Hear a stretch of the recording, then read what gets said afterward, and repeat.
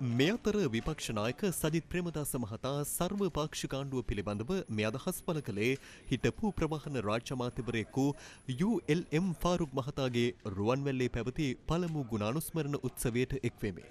දැන් හැමෝම ගිලගෙන ඉන්නවා සර්වපාක්ෂික ආණ්ඩුවයි සර්වපාක්ෂික පාලනය. ඒ වචන දෙකම හරියන්නේ නැහැ. හරියන එකම වචනය සර්වපාක්ෂික වැඩපිළිවෙල.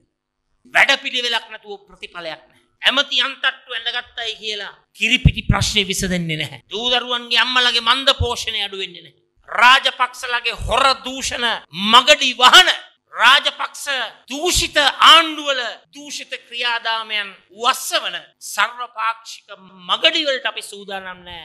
හැබැයි රට ගොඩනගන සර්වපාක්ෂික ඒකාබද්ධ ජාතික ක්‍රියාදාමයකට අපි සූදානම්. ඒ අපි පාර්ලිමේන්තුවේ සවි බල ගැන්වුණු කමිටු ක්‍රමවේදය හරහා අපි ඒ දේ කරන්නට සූදානම්. මම සූදානම් ජනාධිපතිතුමත් එක්ක එකට එකතු වෙලා වැඩ කරන්න. නමුත් මම සූදානම් නෑ ඇමති ඔළුගෙඩි සූදු ඇමති ඔළුවඩි සූදු ගහන්ඩාවොත් එතනින්ම අපේ සහභාගිත්වය කරයි.